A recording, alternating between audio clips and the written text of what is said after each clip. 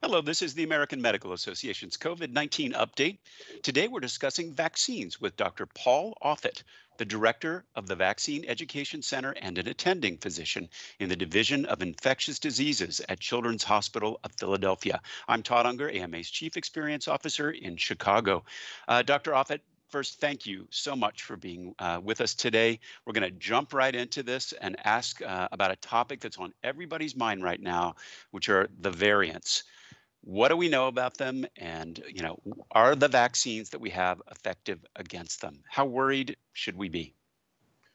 So so to put this in perspective this is a bat coronavirus that's made its debut in wuhan china in november 2019 as it started to march across the globe it, it formed its first variant probably a, a from europe. It had the fancy name of d614g variant and that was the first variant um, and and then it moved into the from Europe into the United States. Um, there have been a series of other variants that have formed. There's the UK variant, there's the South African variant, there's the Brazilian variant, and most recently the California variant. The critical questions for these variants are not that they would occur of course they're going to occur. As as this bat virus adapts itself to growth in people it's going to create variants. The critical question is are there going to be functional differences with these variants? In other words are they more contagious which is generally true for many of them? Is are they more virulent meaning more likely to cause disease? That's really doesn't appear to be true. And third and far and away most importantly will they escape recognition by vaccines? Because the vaccines really are all generated for that original strain that really came out of Europe, that so-called D614G variant. That's really how all the vaccines are made to prevent that particular variant. So will it protect other variants? Now, it certainly looks like it's going to protect the UK variant because uh, they're they're so similar that that immunization with one, I think, would protect against disease caused by the other. The one that's more worrisome is the so-called South African variant, and and now we're we're seeing uh, data generated for, from the Johnson and Johnson trial that was performed in uh, in South Africa that it does somewhat escape recognition, but not entirely. And and really, that's what you worry about. What you worry about with these variants is if you've been given a vaccine or you've been naturally infected, and then you're exposed to, let's say, the South African variant of this, this SARS CoV 2 coronavirus, do you then get hospitalized? Or worse, go to the ICU or worse, die. And so far, there is no evidence for that. So, as long as these vaccines can prevent against moderate to severe disease, I think we're good. And so far, that's where it stands. Now, that said, I think we need to prepare for the fact that these, these variants may completely escape vaccine re- recognition, which if that's true, you know, we're going to need to have second generation vaccines. Well, that's exactly. Let's let's just follow up on that. Are we going to, at this point, do you think, have to reformulate vaccines to be more effective against these variants? And, you know, what does that process look like? Is it starting all over again? And how fast is that? Well, I, should we get ready for the fact that these variants, as they pop up, may may completely escape vaccine recognition? Yes. How do how do you how does that work? Well, it's actually fairly easy to construct the variant. I mean, for the messenger RNA vaccines, which are made by Pfizer and Moderna, or these or the so-called replication defective um, simian or human adenovirus vaccines, which are made by Johnson and Johnson and uh, and AstraZeneca, now the the Russian group. Um, can you reconstruct them fairly easily? Yes. You just reinsert the different gene. That's easy. The hard part, the really hard part, is we're learning is mass production, mass uh, mass distribution, and mass administration. That's going to be just as hard as it's been now. How long does it take to you know construct something new for uh, for a variant like that? Are we looking at another year?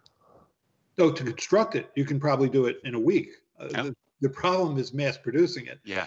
And, and do you want to then sort of add it? In other words, for the mRNA vaccines, you could argue that you would include in that little lipid nanoparticle, that fatty droplet, not only the mRNA from what we're doing now, which is the sort of the that first variant, the D614G variant, but also for, you know, let's say for the South African variant or the Brazilian variant, you can put more than one mRNA in that capsule. So you can get sort of essentially a multivalent vaccine. So so making that I think wouldn't be be that hard, or constructing it wouldn't be hard. Mass producing it is is is always hard. I mean, as as they say in the vaccine world, the hardest part of making vaccines is making vaccines, and I think that's always true. Mm-hmm. I want to ask you a big, quick, big picture question about variants for those who might not understand it. You know, why do they emerge, and how does this happen? Um, so, so for viruses like SARS-CoV-2, it's a so-called single-stranded RNA virus. So its its ability to sort of proofread itself when it reproduces itself is is poorer than say for DNA vaccines.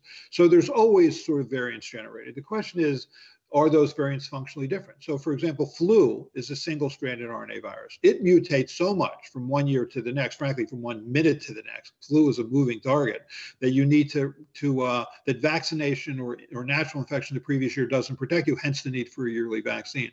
Measles also is a single stranded RNA virus. I mean, it also mutates. Um, but we've had a measles vaccine since 1963, and that virus has never mutated away from the vaccine. I think the question for us with this particular virus, SARS CoV 2, which is it going to be more like? Is it going to be more like flu or more like measles? I suspect it'll be somewhere uh, in between. Interesting. Well, we learned more about the Johnson and Johnson vaccine on uh, last Friday. You know, how should physicians be talking about efficacy to their patients when you have kind of a spectrum of vaccine, or you might in the future? Um, you know, especially if Johnson and Johnson, for instance, uh, their vaccine becomes another viable option.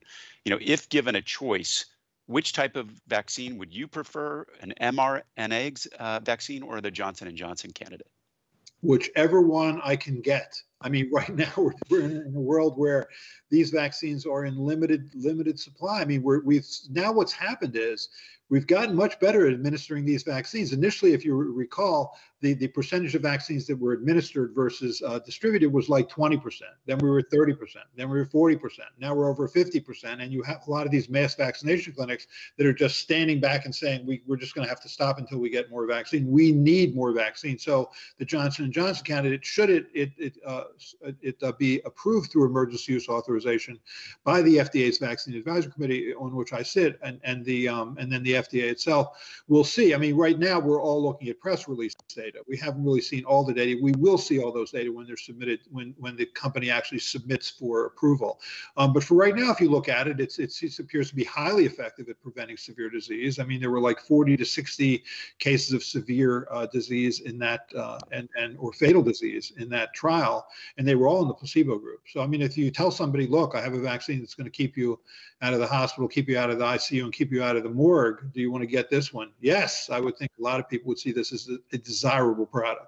It's an it's an interesting difference in the way that you're talking about it versus kind of what I read in the mainstream press. That your focus here has been on that preventing of you know severe or possibly deadly cases of that, uh, whereas like what you read a lot about is just kind of general effectiveness.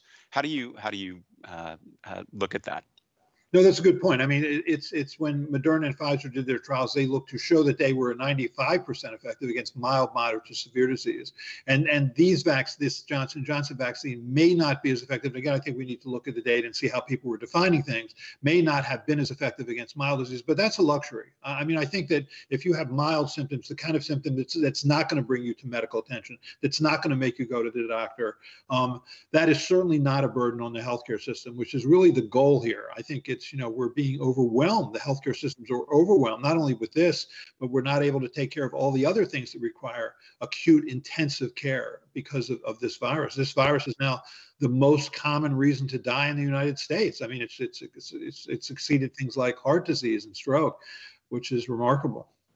Well, this might be kind of a moot question, given your point, but you know, if someone gets, you know, a Johnson and Johnson vaccine, assuming it's authorized, you know, then they receive the Moderna or uh, Pfizer vaccine at a later date once we have more supply. Is that like a rational approach?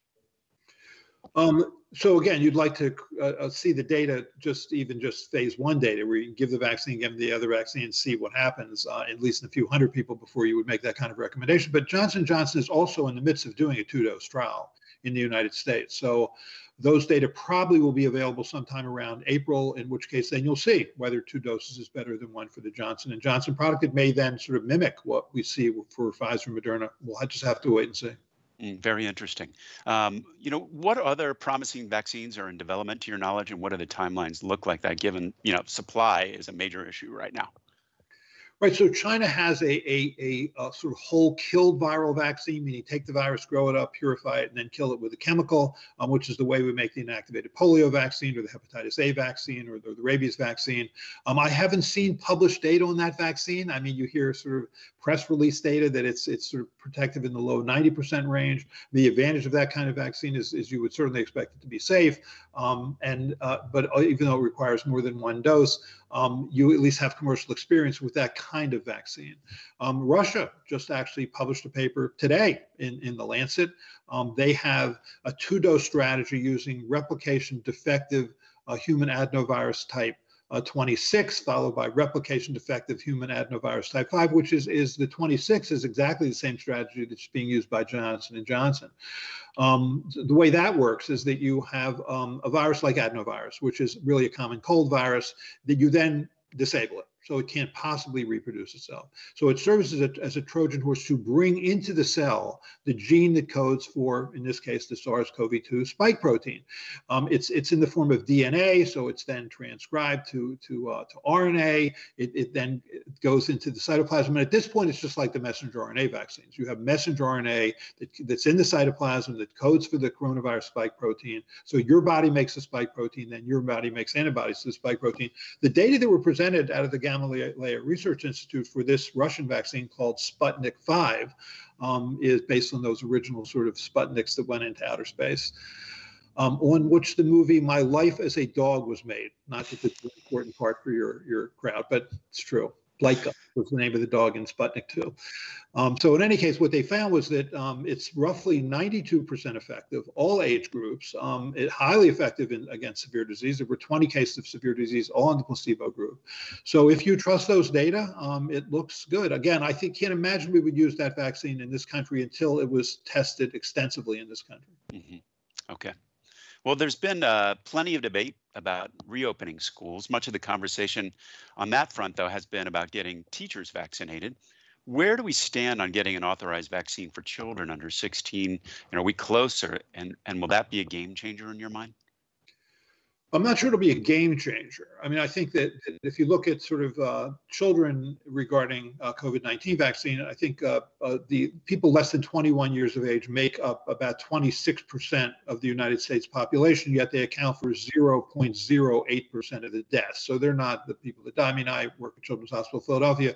We certainly have a COVID ward, but we're not nearly as overwhelmed by that virus as, say, our neighbor, the Hospital of the University of Pennsylvania, which takes care of adult patients, is. So um, I don't see it as a game changer. Certainly, we'd like to get teachers vaccinated. But that said, I think, you know, we're not helpless here. We still can wear masks, social distance.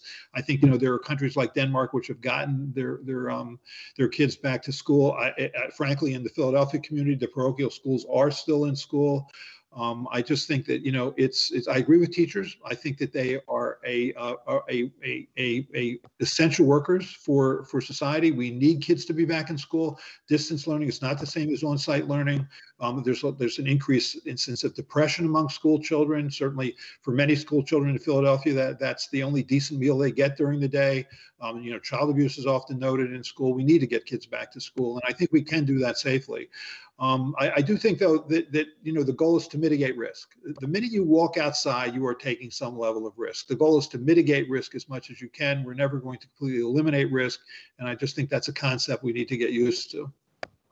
Excellent. All right. Well, as we know, and you've talked about before, supply and distribution have both been challenges in this rollout. You know, how do you see the next few weeks and months playing out?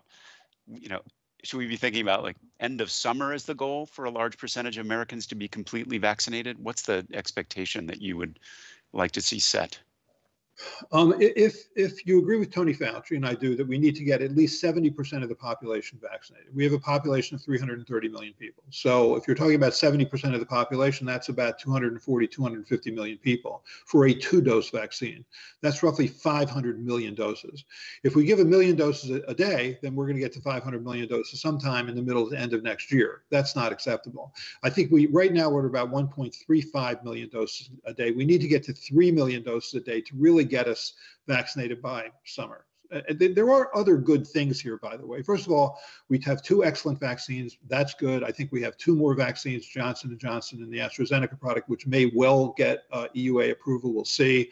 Also, the thing we never talk about is is there are a lot of people in this country who've already been infected, who are likely to be immune when exposed to the virus again. I mean, the, the reported number is 26 million, but that's just people who've been tested and found to be infected. Many people have been infected but have never been tested, either because they're asymptomatically infected or mildly symptomatically infected, or they've tried to get testing and couldn't get it done. Um, so when you so how many people is that? When you do antibody surveillance studies to see how many people really have been infected in this country, you realize that that, that 26 million number is probably off by a factor of at least three. So probably between 75, 80, as many as 90 million people in this country may already have been infected, which is, you know, 20 to 30% of the population that's essentially immune. So we already have that base that we're working with. And then we'll continue to vaccinate people. We're already more than 6 million people have already gotten two doses of vaccine.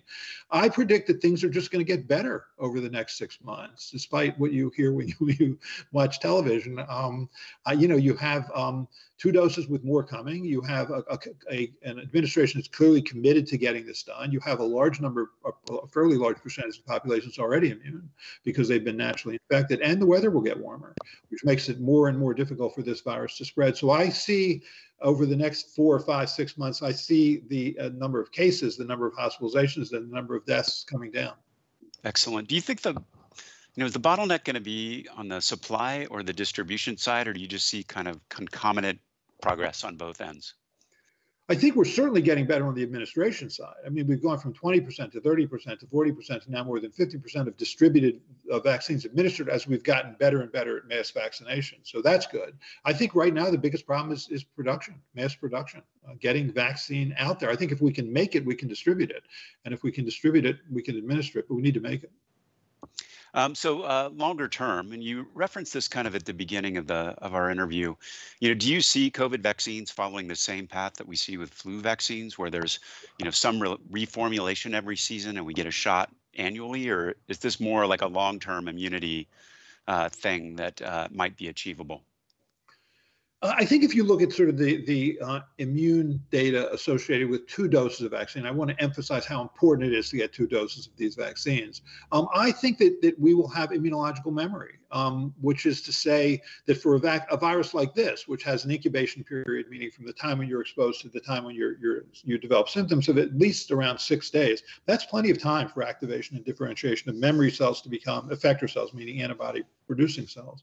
So I think the vaccine can be can be uh, effective for years. I mean, a few years, not decades probably, but certainly for two, three years. I think that's possible. Um, so the only reason to give a booster dose would be, or to give another dose the following years, is for like flu that the viruses have mutated so much that your previous uh, immunization doesn't protect you. Um, that would surprise me. Uh, we're certainly not there yet. I mean, look for those people who've been immunized who, who are then still getting admitted to the hospital with, with severe disease. Um, when you start to see that happening, that's when you worry. But for right now, for all the, the fear of these variants, that hasn't happened yet. And it may well happen, but it hasn't happened yet. Well, thank you uh, so much, uh, Dr. Offit. I learned a lot today. I think our viewers will too. Appreciate your perspective. That's it for today's COVID 19 update. We'll be back soon with another update. For resources on COVID 19, visit ama assn.org slash COVID 19. Thanks for joining us and please take care.